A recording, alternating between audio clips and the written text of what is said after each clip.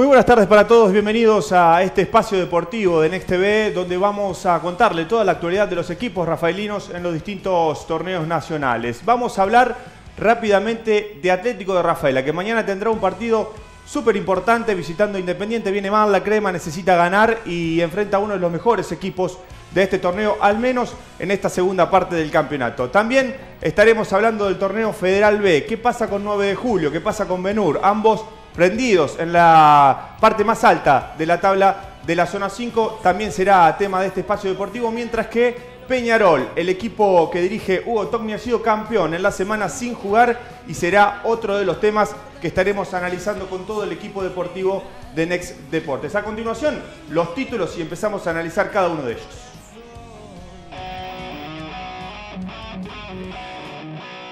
Atlético se prepara para visitar mañana Independiente con dos cambios en la mitad de la cancha. Serrano y Marino recuperan un lugar en el primer equipo. Peñarol campeón. El equipo de Villarrosa juega el fin de semana, pero por la derrota de Benur se consagró campeón. El 9 de visitante, el Lobo de local, los equipos rafaelinos se preparan para una nueva fecha del Torneo Federal B.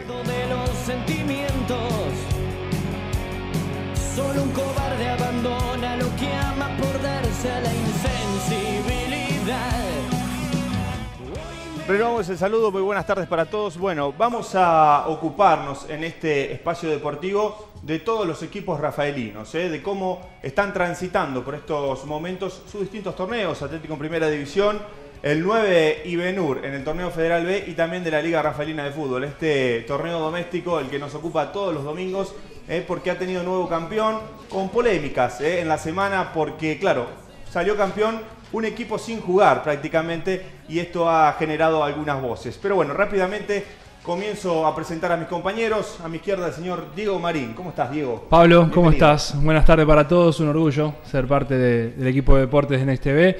Y bueno, comenzando esta, esta etapa, seguramente con mucha información, con mucho debate, con algo de polémica, como lo que ha pasado con la Liga Rafaelina. Y bueno, vamos a meternos obviamente también con lo más importante que tiene que ver con el deporte de Rafaela, que es la presentación de Atlético. Ya mañana eh, en la fecha número 18, eh, visitando a Independiente, un partido realmente complicado porque ha arrancado muy bien este semestre, este segundo semestre del año, el equipo de Mauricio Pellegrino con dos victorias. ¿no? Exactamente. Bueno, a mi derecha el señor Martín Ferrero, también para empezar a analizar los temas prometidos. ¿Cómo te va, Martín? Buenas tardes. Buenas tardes para todos. Eh, muy bien, Pablo, y arrancamos con, con todo, porque como lo decían en los títulos, tenemos un montón de temas para este primer programa y lo más importante ¿no? para, eh, para hoy, eh, la presentación de Atlético mañana, pero también arrancamos ya con un campeón liguista, con un campeón eh, después de cinco años Peñarol volvió a consagrarse, así que bueno, vamos a estar hablando de esos temas, pero como lo decíamos, ¿no? La mayor parte del tiempo se la lleva Atlético por lo que es el partido de mañana, por la actualidad de la crema. Y, bueno, vamos a estar obviamente hablando de eso, ¿no?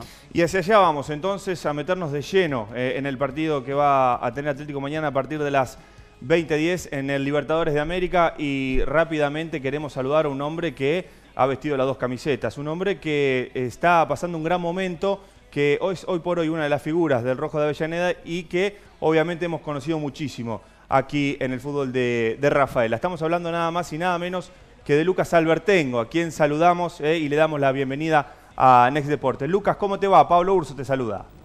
Hola, ¿qué tal Pablo? ¿Todo bien? Un saludo ahí a los chicos. Bueno, me imagino que con muchas expectativas, eh, con sentimientos cruzados para lo que va a ser el partido de mañana, ¿no? Sí, sí, seguro. Eh, ya lo dije, esta semana por ahí fue un poquito especial para mí, por, por todo lo que significa jugar contra Atlético, por, el sentimiento que tengo hacia el club, eh, todas las cosas que pasé, la gente que la gente querida que dejé ahí, eh, los amigos.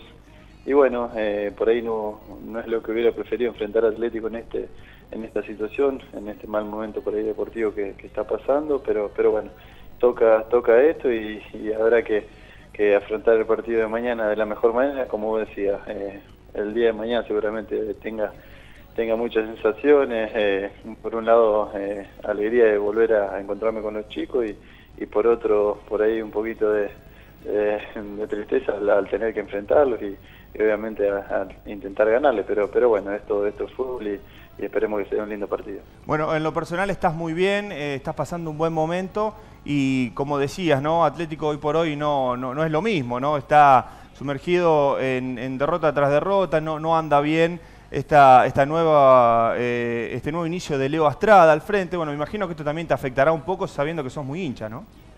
Sí, sí, seguro, seguro. Siempre sigo, sigo los partidos de los chicos, eh, trato de que hacer fuerza para, para que le vaya bien. Bueno, eh, lamentablemente por ahí no, no, no, hicieron por ahí un buen torneo, pero, pero bueno, no tengo duda que, que lo pueden levantar. Yo también cuando, cuando me tocó estar ahí eh, tuve, tuve momentos complicados y, y, salimos, salimos adelante, así que, que bueno, eh, espero que, que, los chicos se puedan levantar, que, que saquen que saquen al club por ahí del momento deportivo eh, que están pasando y, bueno, como te digo, tengo tengo confianza y espero que, que lo hagan y, bueno, este partido por ahí eh, yo obviamente voy a intentar hacer lo mejor de, ganar el partido, pero pero bueno, espero, espero que Atlético levante.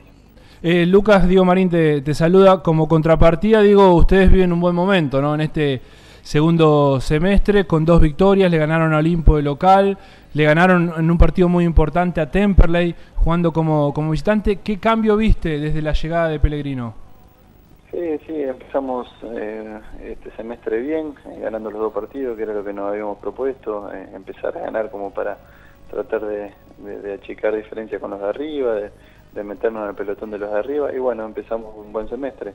No sé si diferencia, nosotros creo que, en todos los partidos, tanto con, con Jorge Almirón como con Mauricio, tratamos de salir a ganar, de ser protagonistas, eh, pero pero mandan los resultados. Sabemos que en el fútbol es así, por ahí en el semestre pasado no se tenían los resultados y varios partidos creemos que, habíamos hecho las cosas bien y, como te digo, no pudimos conseguir los resultados. Y bueno, eso costó que, Jorge dejara, dejara el cargo, pero pero bueno, ahora está, está Mauricio, estamos mentalizados en hacer las cosas bien, él llegó con muchas ganas de trabajar, es un técnico que, que sabe mucho, que, estuvo mucho tiempo en Europa y, bueno, nosotros tratando de, responderle y, como, como decía vos, por ahí este, este semestre empezamos bien y, esperemos encontrar el camino porque creo que, arrancamos bien.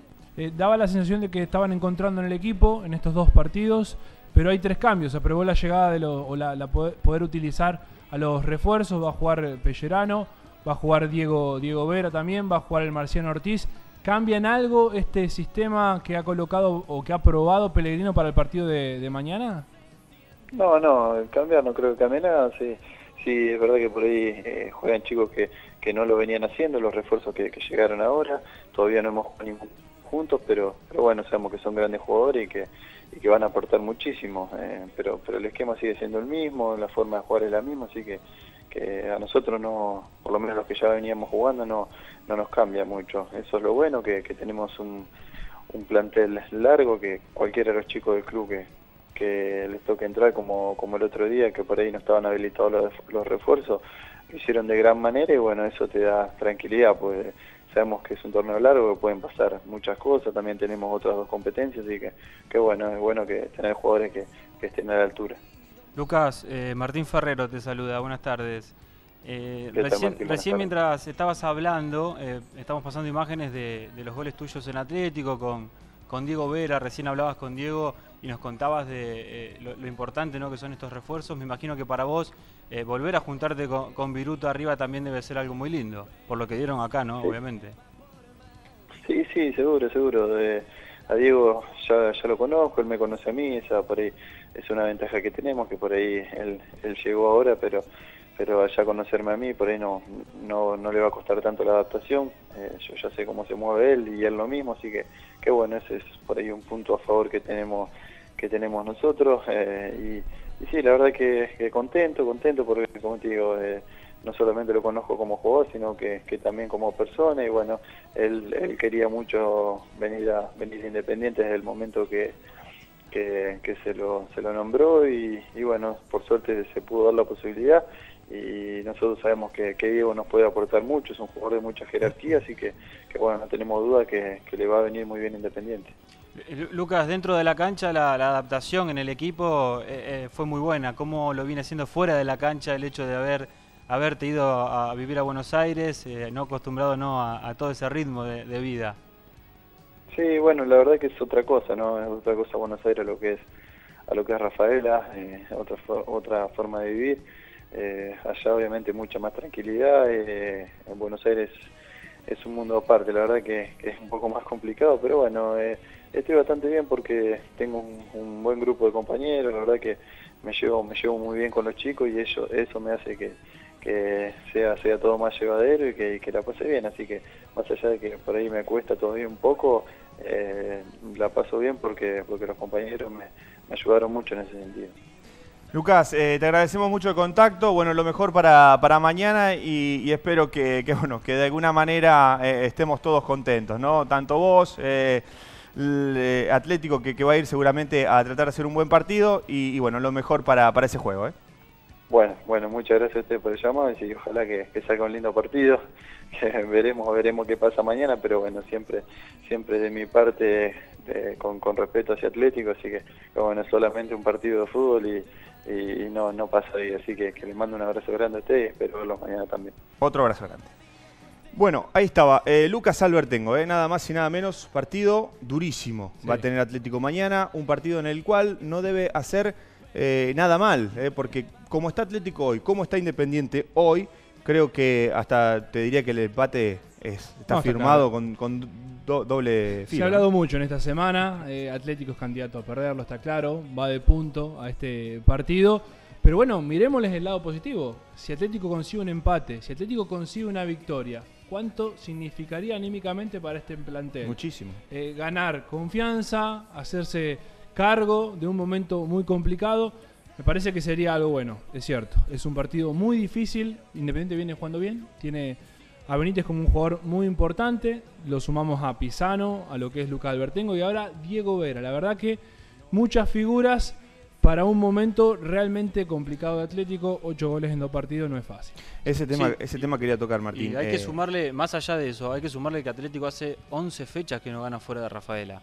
Más allá del presente, de los 8 goles que ha recibido en estas dos fechas que se llevan jugado Sí. este, eh, esta- este reinicio del torneo, eh, hace mucho. Eh, si mal no recuerdo, el último triunfo Central. fue en, en Rosario, En Rosario, pasado. el gol de Víctor. Eh, el pasado. cabezazo en noviembre. con Sensini En como noviembre, entrenador. estamos Sí. hablando de mucho Sí, tiempo. Eh, hablaba recién, Diego, de, de cómo se va para Independiente. Hace muchos cambios porque tiene muchos refuerzos nuevos, Pellegrino, Sí, ¿no?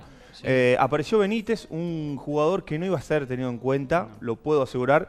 No iba a ser tenido en cuenta, pero el nivel eh, trata de un jugador que realmente está en su esplendor ahora Rindió- y que obviamente y- no lo puede sacar. Y vino rindiendo muy bien. Y, y por eso Pellegrino va a variar un poco, ¿no? Va a tener a Vera, Albertengo y Benítez arrancando un poco más atrás. También va a estar jugando eh, en la defensa Pellerano. Va a volver ahora también otro que se mete en el equipo titular. Digo, esto le puede hasta jugar en contra a, Independiente, ¿no? Porque son todos jugadores nuevos eh, que se van a tener que ensamblar en, en 45 o 90 minutos, ¿no? Sí, es llamativo que haga tantos cambios después de que había Sí. encontrado. Eh, el equipo consiguió victorias importantes. Ganar la Temperley de visitante hoy por hoy no es algo sencillo. y Pero Independiente es el momento hizo. también, ¿no? Sí. Es el momento porque va Es el Atlético rival. de Rafaela, por eso digo. Es el rival, no, ¿no? es que te vas a enfrentar por ahí con un equipo Cierto. que viene bien Con y que un sabes que te, que te tenés que cuidar porque por ahí eh, no podés probar demasiado porque en el primer descuido eh, la terminás pagando y a- Independiente viene en alza. eh, está no tan lejos de la punta con todas las fechas que quedan por jugarse. Eh, en declaraciones en toda la semana los eh, diferentes eh, futbolistas de- del Rojo han declarado que están ilusionados con por ahí poder llegar a pelear el campeonato y bueno, obviamente que van a estar comenzando a probar en esta fecha lo que son los refuerzos que han llegado en este último tiempo. Un Bueno. equipo muy ofensivo, Pablo, tiene Independiente. Totalmente. Si contamos a Benítez y a Pisano por los costados, más los dos delanteros, Vera Albertengo. Dos laterales que suelen pasar mucho, Tagliafico y Toledo, Sí, sí. son laterales que pasan mucho. Es decir, quedan los dos centrales y los dos volantes, que tanto Méndez como Ortiz son jugadores mixtos, no son volantes totalmente defensivos. Exactamente, sí, sí. Sobre Eh, todo Ortiz, ¿no? Que también es otro de los que va a estrenar mañana la camiseta independiente. Bueno, nos ocupábamos del rojo, así va a ir Independiente, tiene todas la- las de ganar, pero queremos saber cómo va a formar Atlético, ¿eh? porque regresan dos hombres eh, al primer equipo, uno de ellos un histórico como es Walter Serrano, el otro es Guillermo Marino, un jugador que hasta el momento no ha rendido en Atlético, que no ha tenido buenas participaciones, eh, pero pese a esto, Astrada renueva la confianza y lo va a tirar a cancha seguramente como un enlace eh, o un jugador un poco más suelto sin tantas responsabilidades. Así va a formar la crema. eh. Veamos cómo Atlético se va a parar en cancha con sus cuatro defensores habituales. Va a estar eh, jugando también con cuatro volantes. Sale del equipo castellano, un juvenil que tuvo muchas posibilidades, sobre todo en la pretemporada, jugó los partidos amistosos y también comenzó como titular los dos primeros juegos. No le fue del todo bien ante River, pero claro, tuvo que pelear prácticamente con la más eh, difícil y por eso Astrada retoca el equipo. Entonces con cuatro volantes, con los dos eh, enganches y con Andrada solamente en la delantera. Ahí tenemos entonces el equipo con De Giorgi, con Sax, Martínez, Barbosa y Re. Eh, habrá que ver también esta posición de Re, ¿no? Porque va a ser el punto débil de la defensa, me imagino. Bueno, ¿no? una defensa que le está tratando de dar rodaje. Sin la recuperación de Juan Luchán, Atlético pierde muchísimo. No solamente en defensa, sino también en ataque. ¿eh? Es algo, una, una arma ofensiva importante que tiene Atlético por la pelota parada, por los de borde, por lo que genera Luchán. Me parece que le cuesta reemplazarlo Atlético. En la mitad de la cancha, entonces Serrano, ¿está bien la vuelta de Serrano? ¿Qué Sí, te- sin duda. Indultado Serrano. Sí, sí, tiene que estar.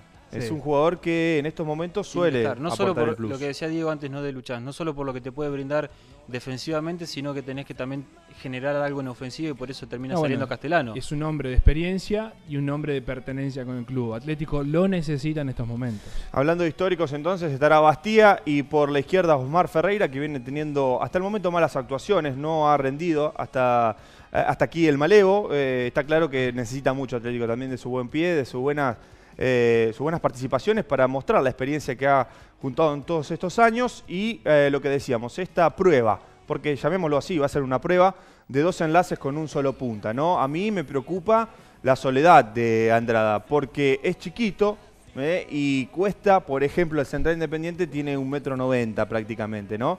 Y a todo esto hay que sumarle que no va a tener un delantero acompañante, sino que va a estar Marini y Morales, que van a ser los dos, eh, como les decía, volantes extremos, eh, que van a estar cerquita del eh, hombre de River, que va a compartir solo en el A ataque. mí me ¿no? preocupa también la soledad de Bastía, ¿no? Solo Bastía. en Bueno, pero va a estar medio. Serrano ahí. Sí, pero va a ser una especie de tres volantes, ¿no? Dos enganches más libres, por lo menos lo que se vio en la práctica, y Andrada solo. Sigue teniendo una postura bastante ofensiva.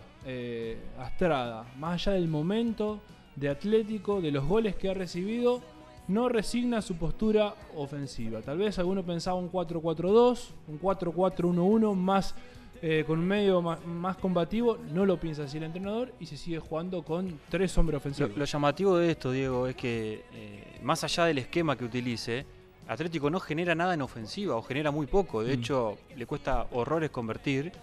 Y, y en declaraciones en la semana dijo, ¿no? Mantener el orden para después tratar de generar algo. Y creo que por ahí viene el tema de, de poner ese doble enganche con eh, Marino y con Morales como para tratar de tener un poco más la pelota en la mitad de la cancha y darle ese aire innecesario como para que lleguen los, los volantes extremos, pero le ha costado mucho a lo largo de todo el campeonato y no es la excepción en lo que va jugado de este regreso del, del torneo. ¿no? Hay que atacarlo Independiente. Eso es cierto, es donde más falla, donde más problemas tiene Independiente en la parte defensiva, en el Sí, retroceso. Venís casi de Sí. un papelón, ¿eh? Sí, por Venís eso. casi de un dos, papelón. de dos. Pero mano a mano el partido, con, Independiente el tiene partido más. con Lanús, hasta el error de Re, y siempre nos quedamos con eso, pero después terminaste perdiendo 3 a 0. Sí, es Yo creo que no es momento como para No. eh, jugar a la ofensiva, me parece que tenés que poner eh, cuatro en el fondo, que, que, digamos no pasen, cuidar el cero en tu arco y después, bueno, si rescatás un punto, empezás a sumar, de a poquito se te van a ir dando, pero tenés que volver a tener la confianza, no puedes ir a jugarte de esta manera, me parece que, que bueno, no, es medio alocado no ir de esta forma a, a un- ante un independiente como hablábamos antes, ¿no? que viene en, en remontada y de local, obviamente. Bueno, todos estos eh, temas y muchos más nos van a ocupar la agenda de Next Deporte. En un ratito eh, volvemos también sobre el partido de mañana. Vamos a estar hablando del torneo Federal B y también de la Liga Rafaelina de Fútbol. Pausa y enseguida volvemos. Cuánta sangre corre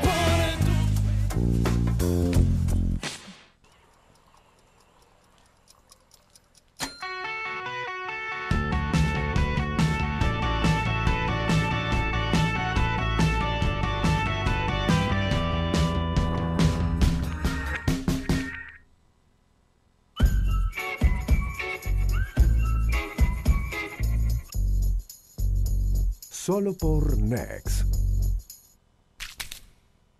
Tu papá acaba de morir hace 10 minutos. ¿En qué se convierte uno cuando pierde los recuerdos, no? ¿Te imaginas dentro de nueve meses?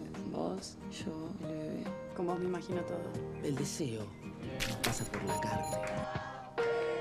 Solo por Next. Descubrí la alta definición y sorprendete. Next TV. Más de 140 señales, más de 35 canales HD. Deporte, cine, infantiles, series, información y entretenimiento.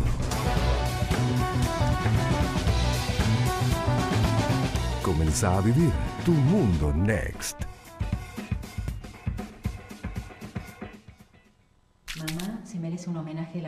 Científica.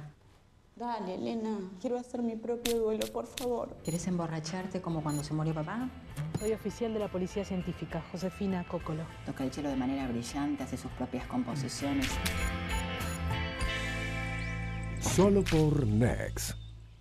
Para conocer toda la actualidad de Rafaela, te presentamos Next Noticias. El noticiero de Canal Next, de lunes a viernes a las 12.30.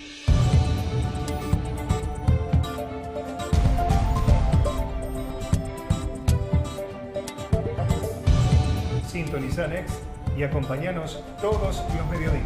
Te esperamos. Solo por Next. Con Next TV podés disfrutar los mejores canales con la mejor definición. Next Premium por solo 247 pesos durante 12 meses con 77 señales nacionales e internacionales. Next HD a 369 pesos durante 12 meses.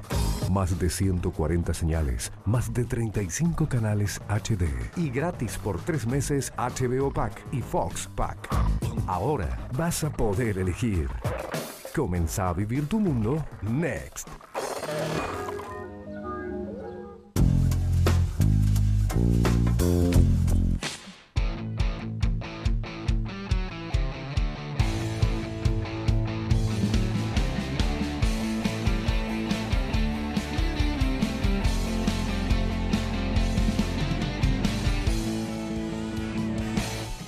Bien, nos metemos en el bloque de la Liga Rafaelina de Fútbol. Hemos tenido campeón en la semana. ¿eh? Ha salido eh, campeón Peñarol mm, sin jugar. Eh, esto sucedió porque Benur pidió, porque Unión de Sunchales pidió adelantar su, partido. Benur tuvo que acceder a eso y no pudo en Sunchales, querido Martín, en un partido realmente muy abierto que terminó 5 a 2 a favor de Unión. Desde el vamos era sabido que no iba a ser un partido fácil para Benur porque para mí enfrentaba al mejor equipo de la temporada que es Unión, ¿no? Más allá que no ha sido campeón, más allá de que quedó en segundo plano, digo, ha tenido un rendimiento extraordinario el equipo del Bochabor, ¿no? Sí, es muy bueno lo que ha hecho Unión hasta acá, eh, sobre todo en los partidos que ha jugado en Sunchales, ¿no? Donde se ha hecho muy fuerte y en este, uno, en este adelanto del miércoles le ganó 5 a 2 a, a Benur en un partidazo, ganaba 3 a 0, prácticamente estaba definido, descontó Benur, se puso ahí a tiro en los últimos minutos y después ya sobre el final con un Benur eh, totalmente jugado, debía ganar o ganar porque si no, eh, no le servía. Peñarol con los 25 puntos era campeón antes de jugar. Recordemos que el conjunto de Barrio Villarrosas va a estar visitando el, el domingo en el clásico a, a Ferro en los Nogales y bueno, de esta manera eh, Benur se tenía que jugar el todo por el todo y, y Unión termina liquidando el partido en su favor. Hoy Unión eh, también es eh, subcampeón, ya están definidos los dos primeros puestos. Peñarol es el campeón, Peñarol invicto hasta aquí eh, porque no ha perdido ningún partido. Hoy uno agarra la tabla de posiciones y ve que tiene 25 puntos, que tiene 8 partidos ganados, que tiene uno perdido y uno empatado. Pero ese partido que figura en la tabla perdido es el que le sacó En los los puntos eh, exactamente. Que lo había ganado. que lo había ganado, que lo había jugado muy bien en Barrio Parque, superando eh, de buena manera al conjunto del sur de nuestra ciudad y bueno, termina no por ahí empañando, si se quiere algo, eh, esta buena campaña que ha realizado el conjunto de la Vía Azulada. Sí, en la cancha no ha perdido nada, no ha perdido nada Peñarol y esto es realmente un mérito realmente importante. Mientras seguimos co- compartiendo eh, este debate, vamos a ver eh, por qué justamente Benur no pudo forzar a que Peñarol le gane a Ferro el próximo domingo porque perdió en Sunchales. Entonces vamos a estar eh, repasando los, los goles eh, de lo que fue justamente el, el partido. Bueno, en un ratito vamos a estar contando eh, lo que pasó justamente en Sunchales, pero decíamos Bueno, un recién... segundo tiempo complicado para, para Sí. Benur. Ya perdió 1 a 0 y en dos minutos, dos goles.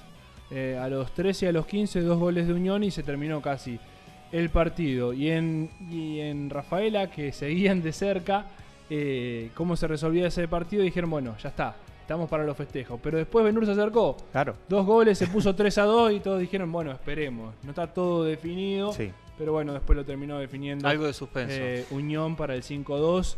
Eh, algo pude ver, un gran trabajo de Diego López, el enganche que tiene Unión. Dos delanteros interesantes, como vos decías, está bien trabajado. ¿eh? sí. Juveniles. Sí, Eh, juveniles, pero está bien trabajado. Sí, eh, Ignacio. Jules es uno de esos delanteros que Sí, decís. hizo dos goles. eh, y, tiene- y es el goleador del campeonato. Tiene siete goles hasta aquí y es una de las promesas que tiene Unión eh, de Sunchales eh, en su equipo liguista. No fue el único adelante que jugó el día No. miércoles porque también jugó 9 de julio con el otro sunchalense, con Libertad. Y eh, ganó el León, el León Rafaelino se impuso 3 a 2. Y en esta cuestión de, de los adelantos, bueno, aquí vemos ¿no? equipos que juegan en otro nivel y que piden adelantar sus Sí. partidos para el domingo atender lo que es eh, el Federal A o el Federal B. Mientras vemos la- las imágenes entonces de lo que fue el gol de Pais, ¿no? El la- primer gol de Unión. Exactamente, la victoria de- del equipo sunchalense, que para mí, repito, ha sido uno de los mejores eh, en esta temporada. Viene de ganar preparación, ha peleado hasta último momento el, el torneo Apertura y bueno, le han pedido a Benur ganar eh, justamente este torneo también. Ahora, eh, va a ser un debate lindo este, seguramente para los próximos programas, pero eh, ¿por qué un equipo juega entre semana sabiendo que pelea por el campeonato y de no conseguir un resultado clasifica campeón a otro que está en otra cosa, ¿no? Antes de empezar el, el año liguista, tanto Unión de Sunchales como Libertad de Sunchales enviaron eh, vía nota a Liga Rafaelina que sus partidos iban a ser el día miércoles. Una vez que comenzaban los torneos Claro. argentinos, Sí. el torneo federal en este caso, iban a ser eh, los días miércoles. Todos los miércoles iban a estar jugando. De hecho, ha sido de esta manera. Algún jueves han jugado porque se ha corrido, pero hasta ahí nomás. Y bueno, lo han cumplido, Pablo. Tienen eh, por reglamento la autorización para hacerlo y de esta manera eh, cumplen con lo que dicen los papeles. Totalmente. Está después del otro lado, ¿no? La, eh, lo deportivo Y el la- marco, el color, el marco, cosas, el color, exactamente la esencia que se pierde con, eh, con esta especie de partidos, de esta definición, donde por ahí, si hubiese jugado Benur con Unión el domingo, mismo día y en el mismo horario que jueguen en, en Barrio Los Nogales, Ferro con Peñarol, hubiese tenido todo quizás otro sabor. Pero bueno, hay que adaptarse a lo que hay porque, digamos, eh, la Liga Rafaelina tiene muchos clubes eh, afiliados, eh, muchos de sus clubes están compitiendo en otro nivel y bueno, tienen que también cumplir con esto en lo que se debe a sus compromisos del fin de semana. Y acá tendrán ellos que ceder un poco y aflojar porque más allá de algún que otro partido de 9 de julio, recuerdo algún jugador, prácticamente son dos eh, planteles totalmente diferentes, los de Unión y Libertad, Mm. eh, que utilizan para el torneo federal y tranquilamente podrían jugar su partido de, de liga el día domingo. Pero bueno, son decisiones que toman los clubes Sí. y hay que aceptarlas. Que, a ver, eh, no digo ensucian la liga, sino que por ahí la, la hacen más fea. Eh, no, porque esto tendría pierde que un ser poco la, la- sí, pierde un poco la esencia, la, la gracia, si se quiere. La gente de Peñarol el, el miércoles a la noche festejando en su estadio, eh, habían Cuando terminado de muchos se practicar. estaban yendo a dormir, ¿no? Eh, sí, Porque sí. más, el otro día hay que trabajar también. Un Digo, sinsabor cosas- ahí, algo Todos raro. hubiesen apostado porque festeje en cancha de ferro, ¿no? Por Claro. la rivalidad que hay, porque justo era el Claro. último partido y porque podría haberle gritado campeón en su casa y, ante, y, en, y en su cara, ¿no? Se pierde bueno, eso, se, se pierde eso, pero bueno, eh, son las reglas del juego. Totalmente. eh, Está complicado con los equipos del Federal B y el Federal A. Tenemos cuatro equipos. Sí, sobre todo digo este año, porque en, en otras ocasiones, años anteriores, los calendarios de AFA eran distintos. Y en esta época del año, eh, los- eh, lo que era el argentino A o el argentino B no, se- no se jugaba. Y ahora, a- Sí, a- se al comenzar, claro, al comenzar desde eh, marzo, la Claro. temporada, te, te coincide con tu calendario de liga. Entonces, bueno, eso era algo que se había hablado y mucho allá por la primera reunión de Liga Rafaelina en, en enero y en febrero, perdón, y bueno, de esa manera eh, trataron de buscarle la vuelta, pero bueno, acá están los resultados. Ojo que es preferible que se termine de definir así en la última fecha a lo que por ahí sucedía años anteriores donde dos o tres fechas antes ya se conocía quién era Totalmente. campeón. ¿no? Ujú. Bueno, seguramente va a ser un tema para, para que nos ocupemos de aquí en más. En la semana, recuerden, hemos hablado con Fabricio Poy, con el presidente de la Liga Rafaelina de Fútbol, hemos tocado este tema también y bueno, seguro va a ser tema de, de Next Deportes de aquí en adelante. Ya para el cierre del programa vamos a hablar rápido del torneo Federal B, de cómo van a formar 9 de julio y Benur. A propósito de eso, vamos a ver la formación del equipo de Satanás Werlen, querido Dieguito, eh, de cómo va a estar visitando el próximo domingo a Atlético Concepción del Uruguay. Así es, eh, a las 16 va a estar jugando el 9, que va a viajar como lo hace habitualmente el mismo día. Julián Maina va a ser el arquero, José Sánchez, Jos- Héctor Sánchez, perdón, José Muñoz, Damián Arnold y Germán Guiver en la, en la defensa. Juan Manuel Navarrete, Nico Guzmán ingresa por Lucas Rodríguez, uno de los sancionados. El otro, decíamos, Arnold va a estar en lugar de Cardelino.